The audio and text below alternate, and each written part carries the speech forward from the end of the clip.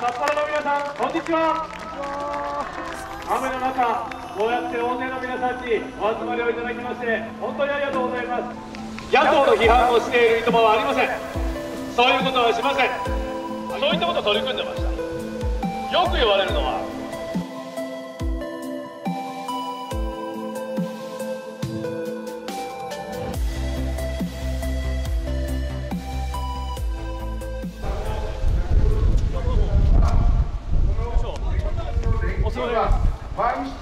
そうです。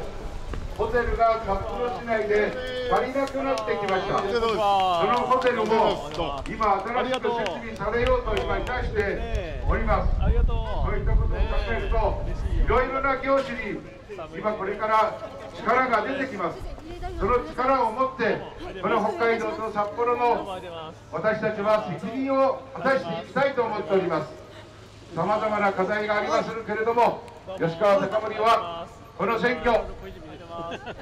日本を守り抜く政権選択の選挙。そしてまた私吉川貴盛にとりましては北海道と札幌の未来に責任を持つ責任を果たしていく選挙だと思っております。どうぞ皆様の温かいご支援。厳しいこの第2区の選挙戦。吉川貴盛に対しましてお与えいただきますように心からお願いを申し上げたいと思います。小泉進次郎さんが今到着をされたようです。まもなくこの壇上に上がっていただきます。吉川貴盛です。ありがとうございました。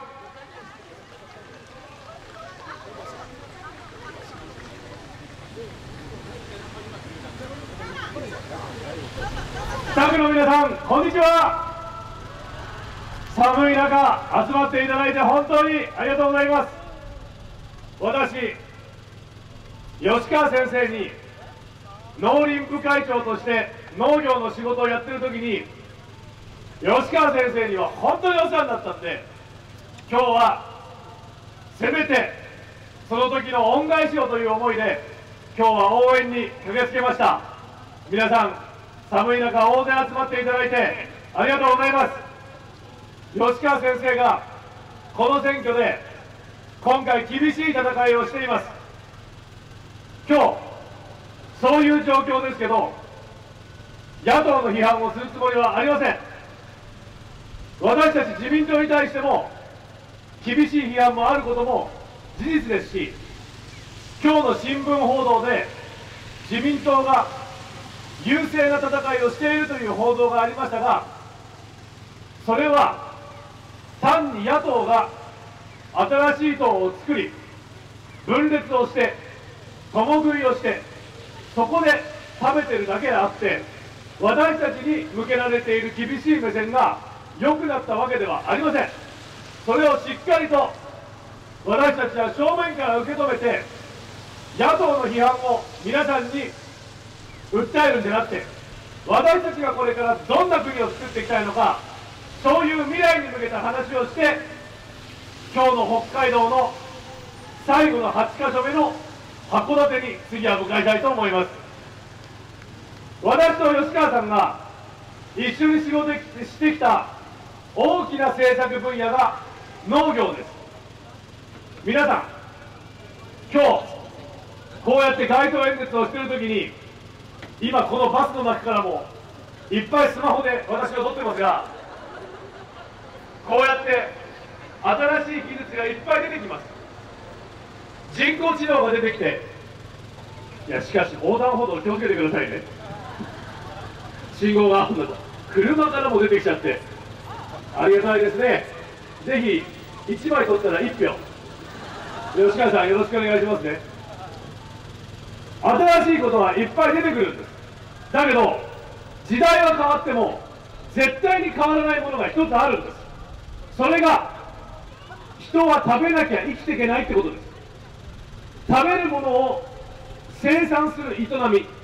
それが農業であり漁業であり山で森を管理してきれいな山を守ることで水が川を流れて海に到達してそれが美味しい資源につながっていくというその循環型の社会をしっかり作ってくれているのが農業漁業林業をはじめとした一次産業なんです。だから私はもう一度自分自身が農業の仕事をしっかりやったことで本当に大切だと思ったのはこれからもっと日本は食べること食のことに対して今まで以上に価値をしっかり置いて美味しい食事と健康的な食事をすることでさらに運動やスポーツを後押しをして結果として医療や介護に過度なお金がかかる必要のないような社会を作っていけば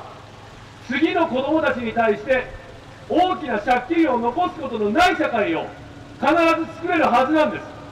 そういった国を作ることができるのは和食を世界遺産として持っている世界でも珍しいこれだけ食の遺産が資産が豊かにあるこの日本しかできない国づくりであって北海道は特に北海道がなければ日本の食が成り立たないというぐらい食の台所が北海道なんです。吉川先生から何度北海道のチーズをいただいたか。そして今では私はアイスクリームのハーゲンダッツを食べるたびにこのハーゲンダッツに使われているミルクは北海道の浜中町の牛から出ている生乳だということを毎回忘れずにアイスクリームを食べるようになったのもこれは吉川先生や北海道の皆さんがこれだけ豊かな北海道の恵みを教えてくれたからですそういった国づくりをしっかりやるのが一つです子どもたちの将来のことを考えても今日目の前にいるレインコート着てる男の子は今何歳か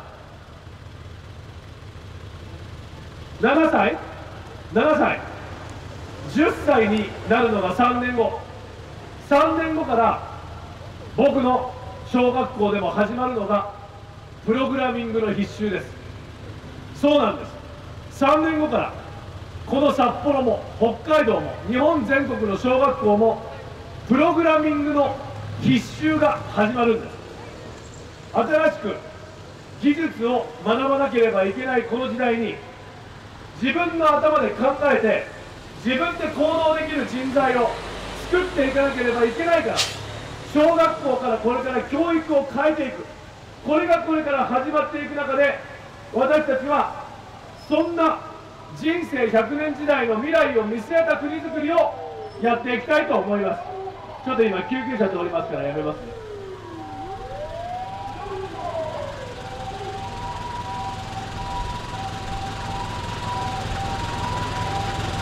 今救急車行きました。医療の問題も同じですよ。今69歳までが3割負担。70歳から74歳までが2割負担。75歳以降が1割負担。現役時代並みの所得がある人は3割負担。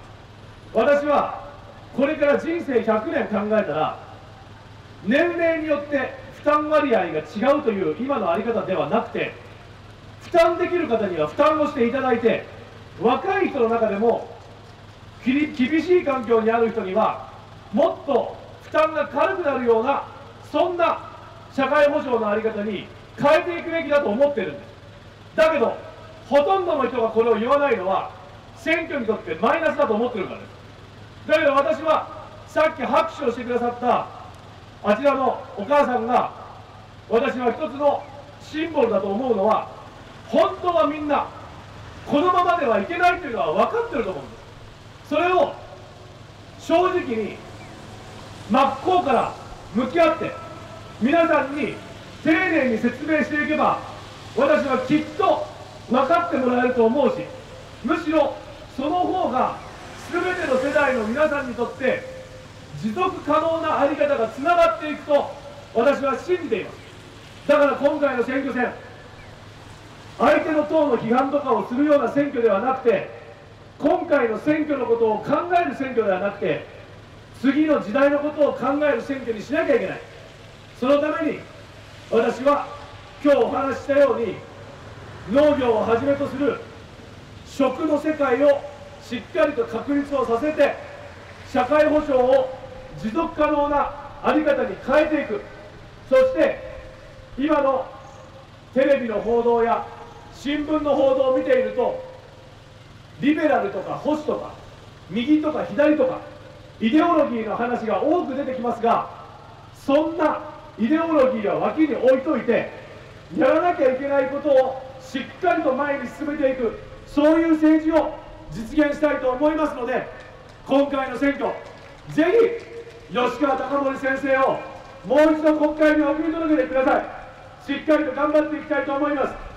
私たち自民党にこの約5年間の政権運営の中で厳しい目があることも事実です。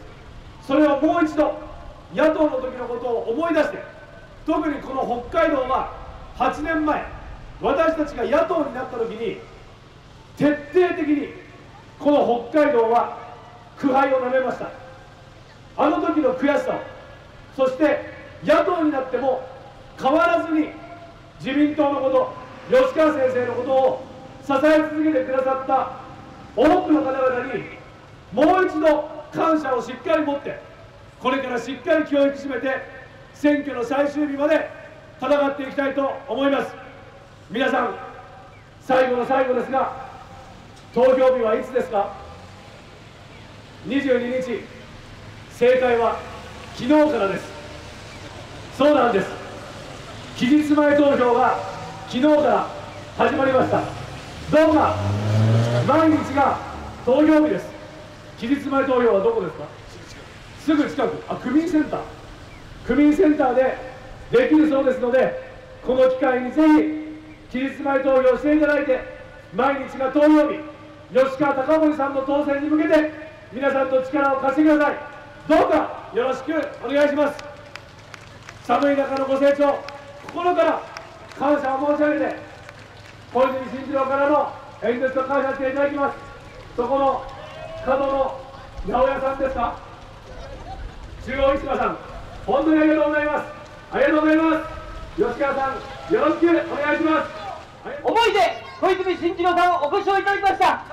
ありがとうございました。皆さんご清聴ありがとうございました。ありがとうございました。本当にいただきました。お寒い中大変ご清聴いただきましてありがとうございました。また本日は自民党筆頭幹事長小泉進次郎さんにも吉川貴盛吉川貴盛への応援演説をいただきました。本当にありがとうございました。どうぞ皆様吉川貴盛吉川貴盛大変厳しい選挙戦でございます。ここにお集まりいただきました。皆様のお一人お一人のご支援の輪をお広げいただきまして吉川貴盛吉川貴盛国政への壇上へと送ってくださいますよ。う心よりお願い申し上げます。選挙戦一生懸命戦ってまいりますこの札幌のためにも北海道のためにもぜひとも吉川貴盛吉川貴盛ご支援くださいますよう心よりお願い申し上げますありがとうございます。ありがとうございます。ありがとうございます。吉川貴盛でございます。大変お寒い中お集まりいただきまして本当にありがとうございます。ありがとうございました。またご近所の皆様、交通交通の皆様、ドライバーの皆様には大変お騒がせして恐縮でございますが、どうぞ選挙活動にご理解いただきまして、吉川吉川貴盛吉川貴盛どうもありがとう何度も吉川貴盛をご支援ください。ありがとうございます心からのお願いでございます。ありがとうございます。未来に責任を持ってまいります。のは自民党吉川ありがとうございます。高森で。ありがとうございます。高校生高森、海外に強い役作りを進めてまいります。ありがとうございます。吉川高森、吉川高森をよろしくお願い申し上げます。ありがとう。ありがとう。おーさっきの子だ大変恐縮でございますが、何卒吉川貴盛をご支援ください。どうぞお集まりいただきました皆様、お一人お一人おー泣いちゃう泣いちゃう泣いちゃうご支援いただきましてよしよし吉川貴盛、吉川ありがとう貴盛吉川貴盛を国政の壇上へと送ってください。ありがとう心からのお願いでございます。ありがとうね吉川貴盛次の会場行きますのでありがとうございました。ありがとうございました。ありがとうございます。ごめんね、すいませんね。どうもありがとうございました。ありがとうございました。あありがとうございました。ありがとうございます。ありがとうございました。ありがとう。ありがとう。ございます。ありがとう。ございました。おお。